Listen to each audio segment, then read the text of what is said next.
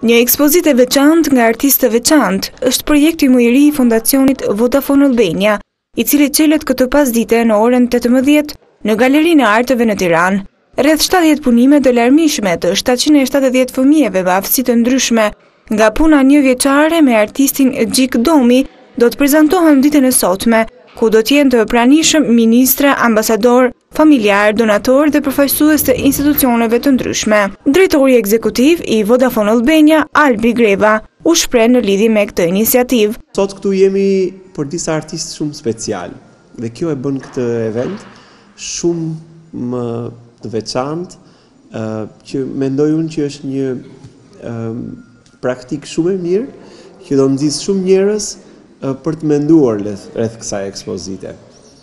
Këtu kemi ekspozimin e një numri veprash të kryera nga fëmijët me aftësi ndryshe. Dhe jo vetëm nga Tirana, po nga shumë qytete të Shqipërisë. Është punuar për këtë nismë prej 12 muajsh, ditë pas dite, qytet pas qyteti, në mënyrë që të përdorim artin për edukimin dhe zhvillimin e fëmijëve me nevoja speciale. Unë gjatë programit që kisha, pashë që fëmijët kur vinin ditën e nesërme, gati i harronin ato që kishin mësuar.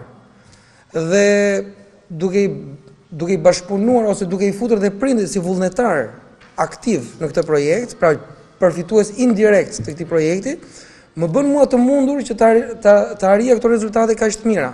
Kjo ekspozitë e cila përfshin punimet më të mira të realizuara gjatë një viti, do të qëndrojë e hapur për vizitorët deri në datë njëzet e një dhjetor.